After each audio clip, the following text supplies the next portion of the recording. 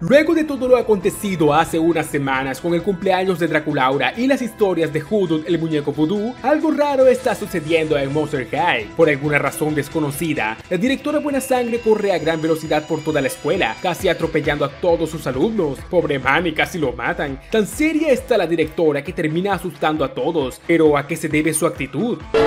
Atención estudiantes de Monster High. Cuando den las tres campanadas, será la hora de... ¡Las vacaciones de primavera! Oiga, buena sangre casi mata medio colegio solo para decir esa mamá.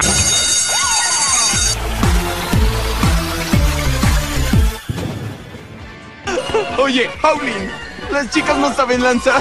No es una buena noche para burlarte de mi hit.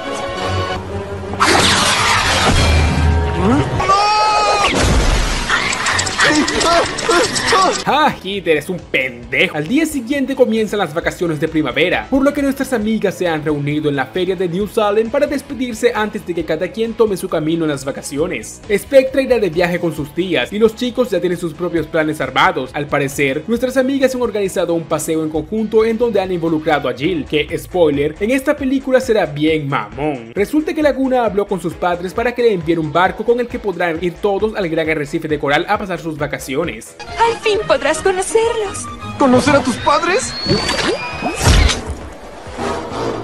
Ahora sí le va a tocar conocer a los suegros, ¿no? Como esta película es corta y va toda madre, nos saltamos enseguida a la escena donde ya están en el barco, donde nos damos cuenta de que se trajeron a Abby al viaje, porque una película sin Abby no es una película de Monster High. Y como buena película de adolescentes, la segunda parte tiene que ocurrir en la playa, como no. Recuerdan High School Musical 2, American Pie 2, Teen Beach 2. Créanme cuando les digo que en esta película todo pasa súper rápido, porque de la nada sale un calamardo gigante y sácate a las que les hace caca al barco y queden a la deriva. Todo así porque sí. Y así como de la nada salió un pulpote naranja, también de la nada ya sale el villano de la película. Al menos con Valentín se esperaron a salir a los 20 minutos de la película, pero con este tipo no se esperaron ni 5. Este hombre se llama Bartolville Farnum, el cual es un normie, es decir, un ser humano. Farnum es un estafador que va de isla en isla para vender basura a los habitantes convenciéndoles de que vende objetos milagrosos. Todo esto en compañía de su asistente Kipling, un gordito humano que lleva siempre una bolsa en la cabeza, porque según Farnum, el tipo es tan feo que no debe mostrarle su fealdad al mundo.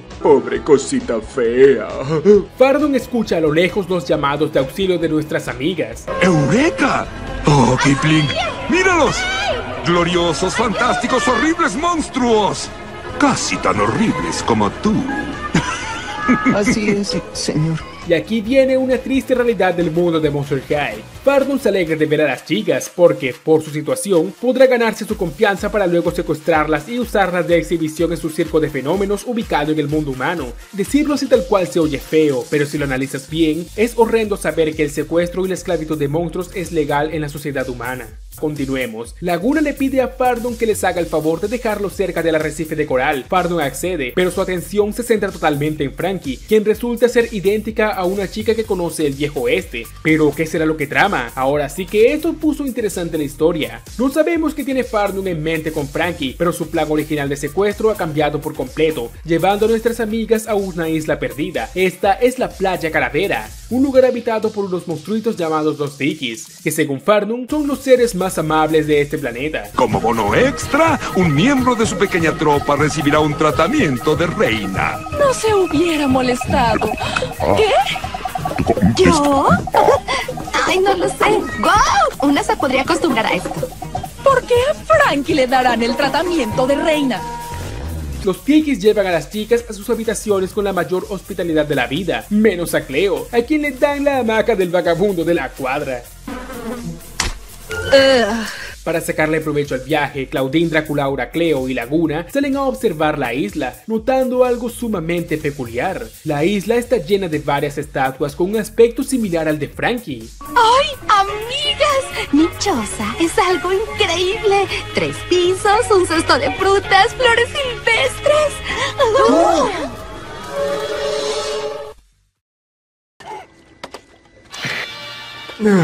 Vaya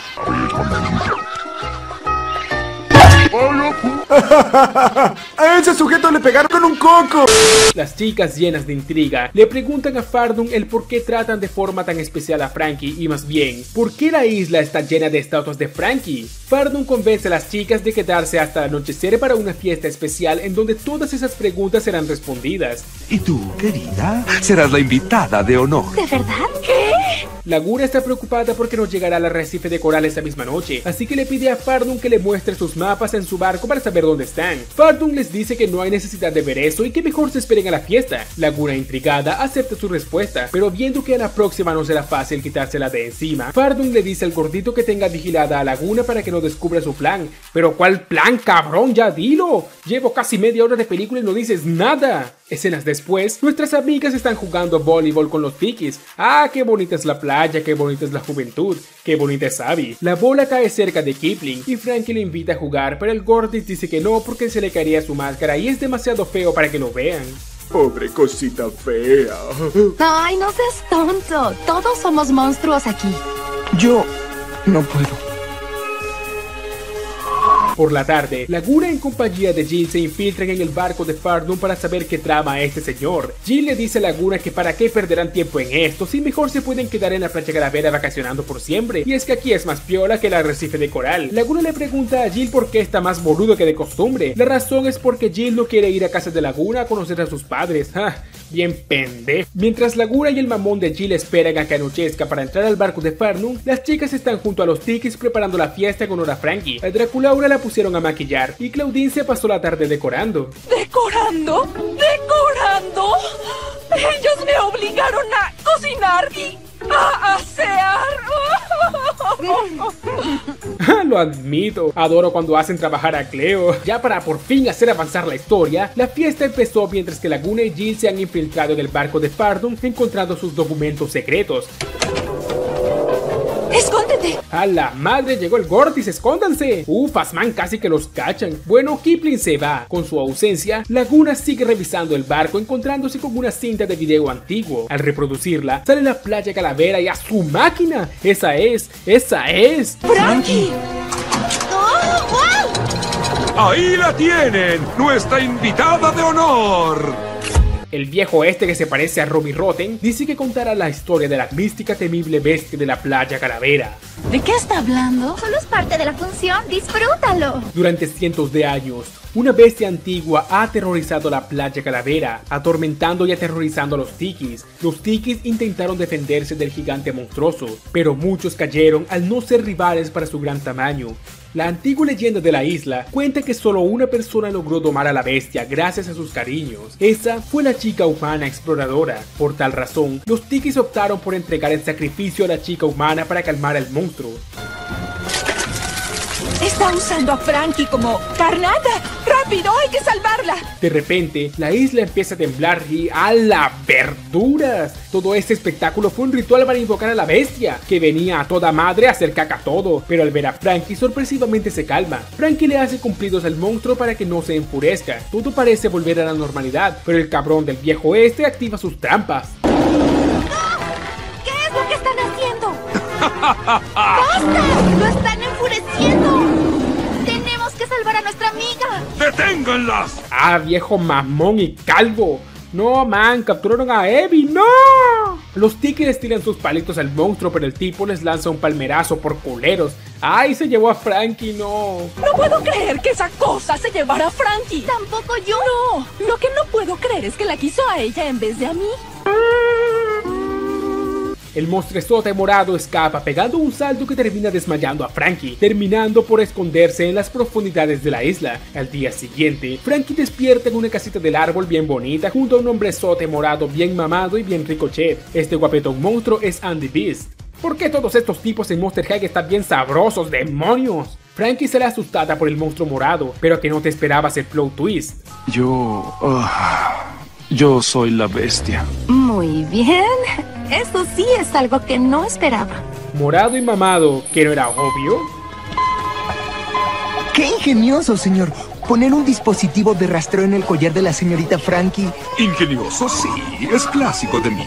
Y esto va a guiarme directo a mi presa. Más tarde, Andy le explica a Frankie que él era un humano que sufrió una mutación que lo transformó en un monstruo, manteniendo su aspecto humanizado con un color morado, solo que la intolerancia y el odio de las personas lo terminaron transformando en un ser gigante lleno de ira. Por tal razón, sus padres lo exiliaron en la playa Calavera. Andy pensó que con la tranquilidad de la isla no se volvería a transformar jamás, hasta que aparecieron los tikis. El miedo de los tikis reactivó la transformación de Andy, convirtiéndose en la bestia de la playa Calavera. Mientras tanto, Laguna y Jill van en búsqueda de Fardon para descubrir lo que trama con Frankie. Lastimosamente, Laguna cae del risco y es capturada por Kipling. Muy bien, Jill, es tu hora de demostrar que eres un hombre para salvar a tu novia. ¡Jill! ¡Ayúdame! Es que... ¡Jill! ¡No vayas a dejarme! ¿Qué? A partir de ahora vamos a llamarla a este p con mojarra puerca, por mamón y por dejar a que se lleven a Laguna. Ahora sí que siga la historia. Frankie siendo Frankie, quienes sean del fandom lo entenderán. Ah, bueno, Frankie ya se conoció más con Andy y le propone ir con ella a Monster High, ya que en Monster High no importa quién seas, siempre serás aceptado sin importar tus imperfecciones. La aceptación y la diversidad es lo que caracteriza a la escuela. Aún así, Andy teme no encajar en el mundo exterior rechazando la oferta de Frankie. ¡Qué valiente novio tienes! Me gustó la forma tan valiente en que corrió cuesta abajo cuando te vio en apuros. Ah, el Ruby Rotten es bien troll. Oye, más de mis estatuas. ¿Por qué hay tantas de esas en la isla? Andy le explica a Frankie que en el pasado llegó a la isla una chica exploradora que en un principio pensaba capturarlo. Poco a poco, ambos se fueron conociendo al punto que se hicieron grandes amigos, y junto a ella, Andy más nunca volvió a transformarse en bestia. Desafortunadamente, todo esto terminó cuando los Tikis la sacrificaron. ¡Qué locura! Al encontrar calma en la científica, Andy hizo las estatuas a lo largo de la isla para recordarla por siempre, así como encontrar paz junto a Frankie al parecerse a aquella chica del pasado. Oigan, tenemos hambre, queremos comida. ¿Qué clase de operativos de segunda son los que ejecutan los Tiki? Ah, qué lista es mi novia, digo Abby. Abby ya tiene un plan de escape. Abby engaña a los tikis congelándolos y usándolos como escaleras dejándolos en el pozo. La única condición para sacarlos es que los ayuden a encontrar a Farnum. Por otro lado, Frankie y Andy se han reunido con las chicas. Como escuchan que Robbie Rotten está cerca, Frankie le pide a Andy que se esconda. Desafortunadamente son capturadas. Ah, pero no contaban con la astucia de Abby que le mostró la realidad de Fardon a los tikis. Los Tiki se hartaron de ser tus marionetas. Deja ir a mis amigas. ¿En serio crees que un montón de fenómenos detendrán al gran Farnum? Con todos en su contra, Farnum captura a Frankie con un imán, enojando a Andy para que salga de su escondite. Si Andy no se entrega, Farnum descargará toda la energía vital de Frankie, por lo que no le queda más opción que entregarse. La razón por la que Robbie Rotten quiere capturar a Andy es para llevarlo a su circo de fenómenos, el cual mencionamos antes. ¡Laguna! Ah, miren, volvió la mojarra. Cuando todo parecía perdido, Jill regresa. Llega al final no resultó ser tan mamón y llorón como pensaba, porque no regresó solo, lo hace junto al calamardo del principio, quien les pide perdón por haber destruido su barco. En compensación, Calamardo Naranja agarra a Fardon y lo manda a quien sabe dónde. Destruyendo también su barco y aparte reparando el que había destruido por error la laguna. Resulta que Jill cuando se fue no huyó de miedo, sino que atravesó el mar, nadando al arrecife de coral para buscar ayuda de los padres de laguna, quienes convencieron al pulpote de reparar el barco y hacer caca a Farton. Así Jill venció su miedo al mar, conoció a sus suegros y se convirtió en héroe. Fin. Ah, no, la película sigue. Fardon continúa vivo, jurando venganza. Gracias a un dispositivo de rastreo que colocó sobre Frankie, ahora sabe cuál será el próximo destino de nuestros amigos. Ese mutante cambiante va a hacerme millonario. De vuelta en Monster High, tras terminar las vacaciones de primavera, Andy se ha unido a Monster High con la promesa de Frankie de que en este lugar podrá ser el mismo y nadie lo juzgará. Es de Spectra, de chismes fantasmales. Las chicas de la escuela enloquecen por el chico de la selva. Como no, se está bien buenardo. Como chico de la selva, Andy se sorprende a ver los celulares de las chicas y en general por todo el mundo moderno, por lo que se nos vienen escenas bien chistosas de este men, como cuando destruye una bocina creyendo que había alguien dentro, o cuando se asusta al tomarse una foto, o como cuando traga como un animal en la cafetería. Ja, exceso de comedia. Todo va perfecto. Andy está feliz por la amabilidad de los estudiantes de Monster High. Gracias a esto no se ha enfurecido en todo el día, encontrando al fin la paz interior que tanto anhelaba hace años. Para finalizar el día, la directora Buena Sangre reúne a la escuela en una exhibición de tolerancia que será realizada por un ser humano. ¿Y quién es este enorme que visita Monster High? No lo sé, pero me parece algo familiar. Este sujeto empieza a ofender a todos los alumnos por ser monstruos, molestando a Buena Sangre por su actitud. No creo que sea un comportamiento adecuado, señor. Este discurso no está promoviendo la tolerancia. Tal vez me expresé mal. ¡Intolerancia! ¡Sí, eso es! El barbón se centra en molestar a Andy. ¿Estás loco, man? ¿Acaso quiere que destruya la escuela? Sientes lo furiosos y asustados que están, ¿cierto, Andy? ¿Quieres darle a esta gente un espectáculo? ¡Es Farno! Cuando la identidad de este viejo mamón es revelada, los estudiantes tratan de usar sus poderes para detenerlo, pero su bastón lleva de cuánto artefactos para contrarrestarlos. Mira que hasta logró detener la petrificación de Dios, no hombre, cuánto poder tiene Robbie Rotten. Todo este horrible espectáculo libera el monstruo interior de Andy, destruyendo la escuela y llevándose nuevamente a Frankie al puro estilo de King Kong a la cima de la escuela. Al darse cuenta de todo lo que ha causado, Andy decide entregarse a Fardun, pero Frankie les da unas palabras que no solo lo hacen cambiar a él. Yo sé que tienes tus problemas, pero ¿quién no los tiene? Nadie es perfecto. Es lo que hace a Monster High electrizantemente increíble. Estas palabras de Frankie logran despertar a Kipling, quien al fin se quita su máscara mostrando su verdadera identidad. Para mí que este tipo es hijo de Dumbo y el gordito de Monster House. Como Kipling ya está encabronado por todo lo que le hizo pasar Fardon durante años, lo lanza hacia un pozo de brea, haciéndolo quedar como un fenómeno lleno de plumas. ¡No! ¡Soy un fenómeno! ¿Ese es el fenómeno por el que vinimos? Seguramente.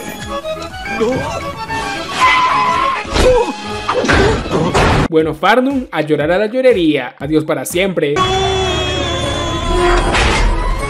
Kipling y Andy ahora se quedan en la escuela. Como Andy destruyó parte de Monster High, ahora todo deberá ser reparado, dándole a los estudiantes una semana más de vacaciones. Y qué mejor lugar para pasar el rato que en la playa Calavera, donde todo Monster High se va de pachanga. ¡Oh! ¡Alguien dijo! Inténtalo.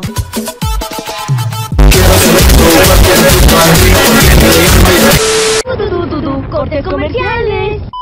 Monster High, la escuela de los hijos de monstruos famosos, está de regreso con nuevos episodios, nuevos personajes, juegos y mucho más. Y no olvides checar el nuevo juego online Fashion Express, donde podrás darle a tus personajes un look para morirse.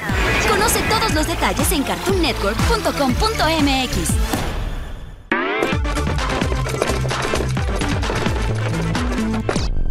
Ya han pasado varios meses y estamos en plena temporada de patinaje extremortífero, aquel deporte extremo que explicamos en la parte 1. Si no recuerdas de qué te hablo, dale un repasito a ese video. Las chicas se reúnen nuevamente como el escuadrón del terror, esta vez para animar al equipo de patinaje de Monster High. Gracias al esfuerzo del equipo de los chicos, Monster High ha logrado avanzar a las rondas finales de la liga, enfrentándose al equipo más fuerte de la temporada, la escuela de gárgolas. Lo que nadie sabe hasta el momento es que las gárgolas han logrado avanzar en el torneo apoyándose solo en puras trampas, trampas que también usarán en esta carrera contra nuestros amigos. Los primeros en salir del juego son la mojarra puerca y Deus cuando les lanzan un murciélago de piedra, por lo que son reemplazados por el dúo de babosos de Manny y el Miados, digo Hit, y oigan, no lo hacen para nada mal, pero las gárgolas sacan una capa roja para atraer a Manny, quien se termina llevando por delante a Hit. Solo queda Cloud dando la cara por el equipo, desafortunadamente, sufre una de las trampas de las gárgolas, no solo perdiendo el partido, sino también terminando lesionado, otorgándole la victoria a las gárgolas, quienes se llevan el escudo de Monster High, lo cual traerá terribles consecuencias. Pero, ¿qué consecuencias podría traer un simple escudo? Resulta que al perder el escudo también se pierde el espíritu escolar, literalmente, ya que dentro de cada escudo apostado en la competencia de patinaje habita el espíritu del orgullo escolar de su respectiva escuela, siendo esto lo que las mantiene en pie. En otras palabras, el escudo escolar de Monster High es la manifestación corpórea del espíritu de la escuela. Sin su espíritu, el cuerpo empezará a desmoronarse, es decir, Monster High. El único modo de recuperar nuestro escudo es llegar al juego de la final y vencer a las gárgolas. Chicas, temo que todo acabó.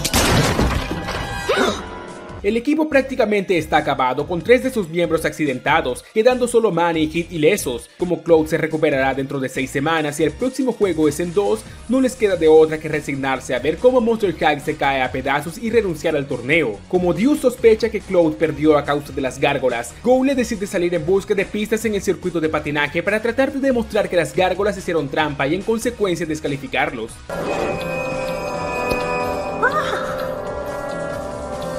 Para tratar de remediar la situación y formar un nuevo equipo de patinaje, Frankie y sus amigas organizan audiciones en la cancha de la escuela donde reclutarán nuevos patinadores. Todos los chicos están en excelente estado físico, fuertes, veloces y ágiles, pero en esta competencia si no sabes patinar, todo lo demás no tiene ningún valor. ¿Y qué creen? Nadie sabe patinar en esta escuela. Oh, lo siento.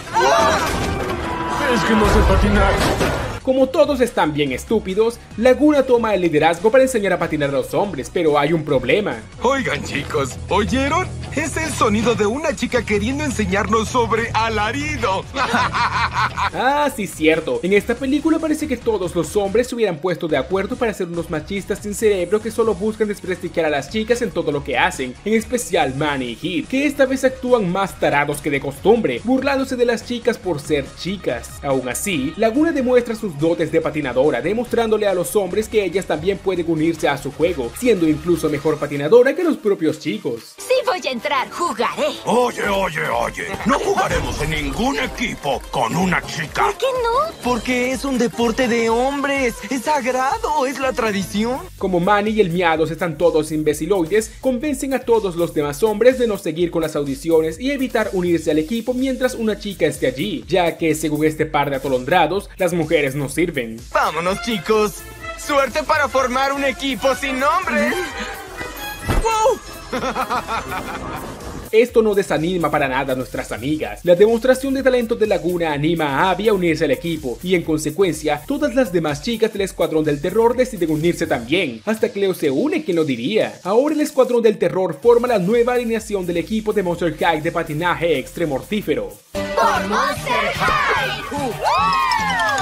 Con el nuevo equipo recién formado, las chicas salen a lucir sus uniformes, pero reciben la burla de toda la escuela, incluso la desaprobación de Cloud, que les dice que no deberían jugar, ya que las chicas no pueden jugar deportes de hombres porque saldrían lastimadas. Draculaura le recuerda a Cloud que el mejor jugador de patinaje extremortífero fue una mujer hace 100 años, refiriéndose a Rebecca Steam, la mejor patinadora de la historia, pero a causa de la envidia de sus competidores fue destrozada en pleno juego. Por esto mismo, Cloud se niega a entrenarlas, dejando a las chicas solas en esto. Si no recuerdas la historia de Rebecca desde su nacimiento hasta su muerte, regresa a la parte 1 de la cronología. Las palabras desalentadoras de Cloud no detienen a nuestras amigas, quienes harán todo lo posible por sacar adelante a Monster High y tratar de recuperar el escudo del espíritu escolar. Todo esto con ayuda de la brillante mente de Golia, quien ha estudiado todo el juego de pies a cabeza, creando las mejores estrategias que llevarán a la victoria a nuestras amigas. Y así el entrenamiento comienza, con miles de tropiezos por parte de las chicas. En medio de la sesión, Golia encuentra otra misteriosa pieza que al parecer demostrará la trampa de las gárgolas. Nuestras amigas continúan entrenando, esta vez dentro de la misma escuela que se sigue cayendo a pedazos por la ausencia del escudo. Su patinaje se sale de control, dirigiéndolas a un accidente inminente. Opereta hace acto de presencia de manera intrépida, salvando a nuestras amigas de una ida segura al hospital. Con esta excelente demostración de habilidad, Frankie le pide a Opereta unirse al equipo pero... Cariño, yo no me uno a nada.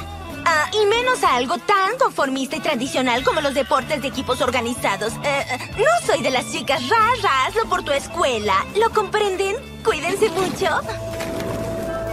No entendí ni qué dijo, pero seguro fue una reverenda y monumental mamá. La primera carrera de las chicas al fin ha llegado, siendo su competencia los zombies de la escuela Graveyard. Pero como ahora el equipo está conformado por chicas, nadie asiste a verlas, excepto Kid, que solo llegó para burlarse. ¡Eso va a ser emocionante! Laguna tranquiliza a sus amigas convenciéndola que los zombies son el equipo perfecto para practicar al ser lentos. Además, Goulet ya les enseñó tácticas de juego que las llevarán a la victoria. Pero aún así, los nervios terminan por vencer a Frankie liberando su voltaje, cayendo en la pista y haciendo que queden descalificadas por una salida en falso. Hermano, ya quiero subirlo a internet. la escuela sigue cayéndose a pedazos y con esto se unen las burlas del Miados, Manny y Toralai, además de que las chicas se han ganado el odio de todos los estudiantes por haber dejado en ridículo a Monster High en la última carrera. Si pierden los próximos dos juegos quedarán eliminadas del torneo.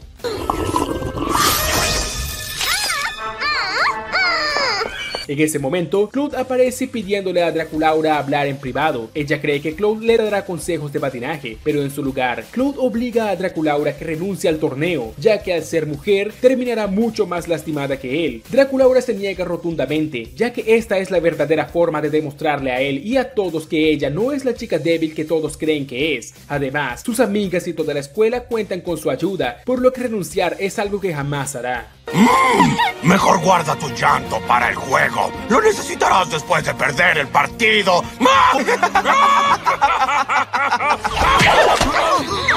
Opereta se sorprende por cómo Draculaura le hizo frente a Claude, dándole sus merecidas cachetadas al par de babosos estos. Viendo que nuestras amigas tienen actitud, Opereta se une al equipo, y con la unión de Opereta, Cleo se sale, ya que siempre le valió caca el patinaje. Más tarde, en el centro comercial, las chicas planean nuevas estrategias de juego hasta que son interrumpidas por las gárgolas, que nada más llegan a burlarse de ellas, diciéndoles que mejor se retiren, ya que aparte de ser chicas, son el peor equipo de la liga. Mientras tanto, la escuela sigue cayéndose a pedazos. Miren a ese men y tiene ruedas en su skate. Ay, cuánta depresión. Mejor veamos a nuestras amigas para motivarnos un poco. Opereta es excelente patinadora, pero desafortunadamente no tiene espíritu deportivo, prefiriendo correr por su cuenta, dejando atrás a sus compañeras en el entrenamiento, lo cual termina por molestar a las chicas por su actitud tan arrogante. Todas empiezan a pelearse con Opereta por ser tan egoísta. Justo en ese momento, Gule encuentra otra misteriosa pieza de metal tirada en la pista. Al recogerla, son interrumpidas por Claude, que al ver cómo continúan luchando por el bien de la escuela, decide entrenar a nuestras amigas. Claude ve gran potencial en cada una, en especial en Opereta, pero la regaña por haber dejado atrás a sus compañeras. Ahora, con Claude liderando el equipo y con la perseverancia de nuestras chicas, Monster High estará más que preparado para la próxima carrera. De esta manera, el verdadero entrenamiento intensivo comienza. Aquí pusiera la canción de Rocky, pero como me cae el copyright, vamos a poner la versión de Padre de Familia. Rising up, back on the street. Did my time, took my chances. Oh, get out of here. Yeah, okay. Mientras que las chicas se preparan, Goulia investiga la función de las piezas que ha encontrado en la pista. Las competencias se han retomado y el entrenamiento de Cloud parece dar frutos.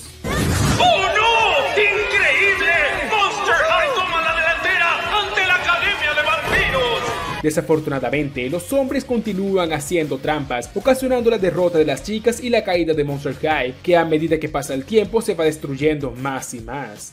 Si las chicas pierden un juego más, serán completamente eliminadas, imposibilitando el poder recuperar su escudo. A pesar del arduo entrenamiento, no han podido ganar nada, despertando la ira de Cloud, quien al golpear unas llantas, descubre la última pieza faltante del proyecto de Goulia. ¿Pero qué es todo esto? Todas esas raras piezas encontradas por Goulia no eran nada más que las piezas del cuerpo destrozado de la legendaria jugadora Rebecca Steen, la cual fue masacrada por las gárgolas hace 100 años. Al ensamblar todas las piezas, el cuerpo de Rebecca ha sido restaurado, pero como era de esperarse, su cuerpo se encuentra vacío y sin vida. Frankie le da una mano a Goulia, compartiéndole a Rebecca un poco de su chispa de la vida. Si no recuerdan qué es eso, nuevamente denle un repaso a la parte 1. Con la energía vital de Frankie, Rebecca ha vuelto a la vida, pero la pobre no sabe que en realidad ya había fallecido años atrás. Es bueno estar aquí. Lo último que recuerdo es que corría contra las gárgolas. Dos rivales se me acercaron y luego... ¡Oscuridad!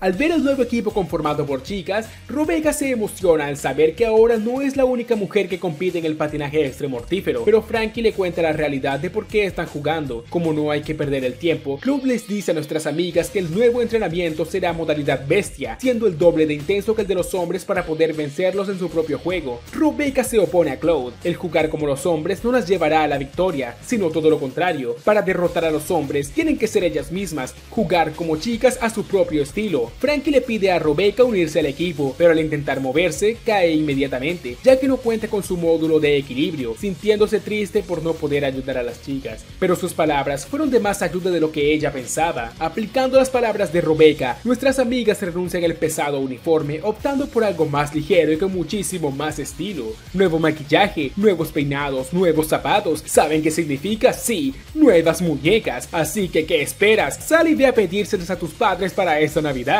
¡Sesión de fotos!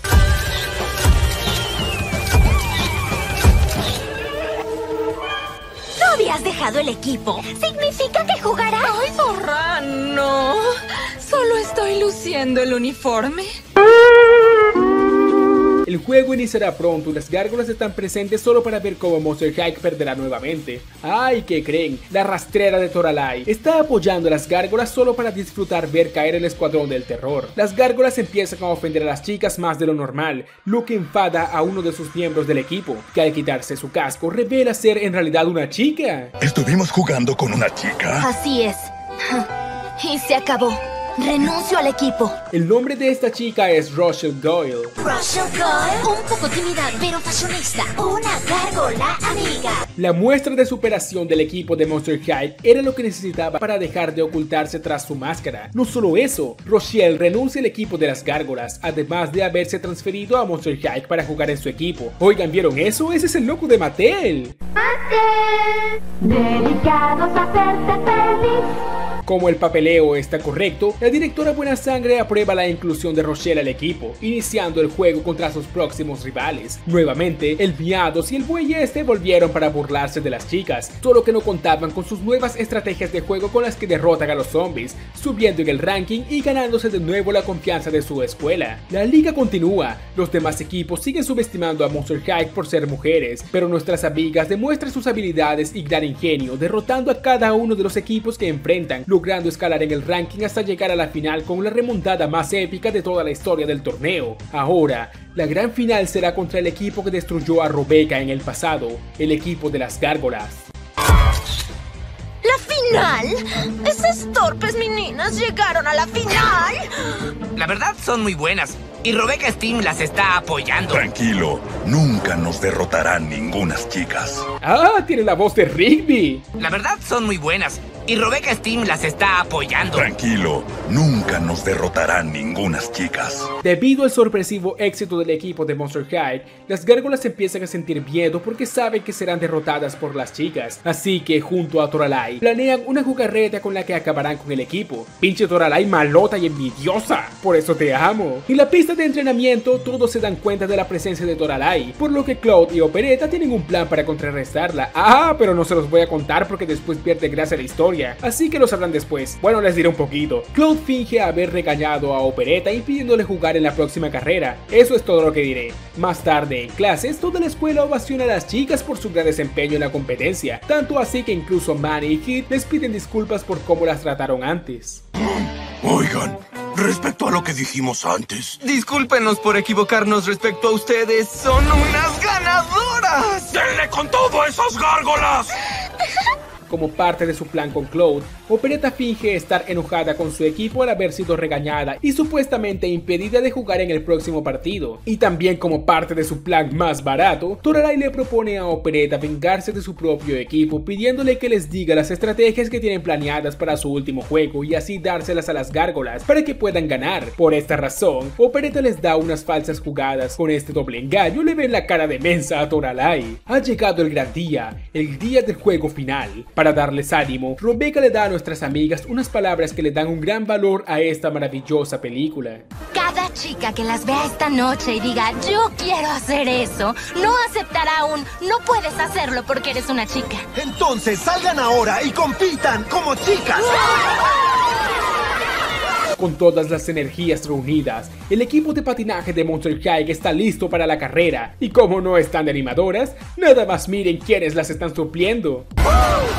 Lastimosamente, a pesar de haber tenido la actitud, Draculaura no ha rendido físicamente como sus amigas, sintiendo que por ser más débil podría arruinar el juego final, optando por salir y cederle su puesto a Laguna. La carrera final comienza, con las chicas estando lado a lado con las gárgolas, usando todos sus poderes para hacerles frente, solo que como siempre, el capitán hace trampa usando el mismo sucio truco que con Cloud, lesionando a Claudine, enviándola a la banca a recuperarse. Aunque Claudine puede volver tras ser curada, finge estar en muchísimo peor estado para así darle su puesto a Draculaura quien continúa triste. Esto la anima por completo, uniéndose a la carrera junto a Opereta. Al avanzar en la pista, Opereta pone en marcha el falso plan que había organizado en conjunto con Toralai.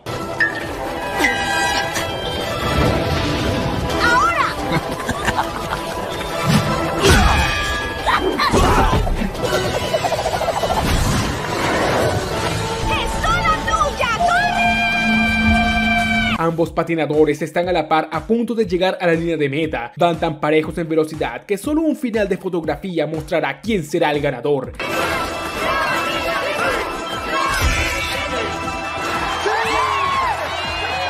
Draculaura se ha llevado la victoria del torneo, derrotando a las gárgolas y dejando en lo más alto a Monster High. Esa doble cara de Toralai no resistió la oportunidad de traicionarnos. Y las gárgolas no resistieron la oportunidad de hacer trampa. Gracias a la victoria del equipo, Monster High no solo gana el torneo, sino que también recupera su escudo del espíritu escolar, que mágicamente reconstruye toda la escuela. Como es parte de la tradición, las gárgolas deberán entregar su escudo. Al saber que esa escuela también terminará desmoronándose, Frankie se niega a recibirlo, aunque esta sea la tradición. Tradición que Frankie decide romper, ya que aunque algo sea parte de una tradición, no quiere decir que eso sea correcto. La tradición decía que las chicas no podíamos jugar y que los lobos y los vampiros no podían ir a la misma escuela. Esa es la clase de tradición que mantiene a los monstruos separados. El deporte debería ser para unirnos a todos. Conserven su escudo. Gracias a estas palabras, Monster High ha ganado el respeto de las gárgolas. Cuando el equipo recibe el trofeo del torneo, se dan cuenta que tiene el módulo de equilibrio de Rebecca. Con esto, Rebecca podrá regresar al juego. Y así fue como un grupo de chicas desafiaron la tradición e hicieron del alarido un deporte para todos.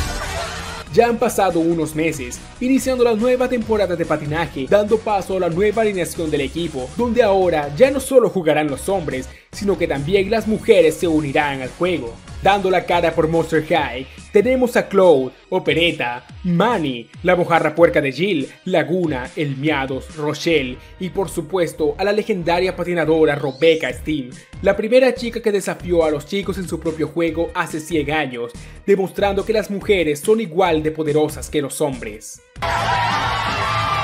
Oye, Rebecca, ¿estás bien? Nunca estuve mejor. Hay que ganar.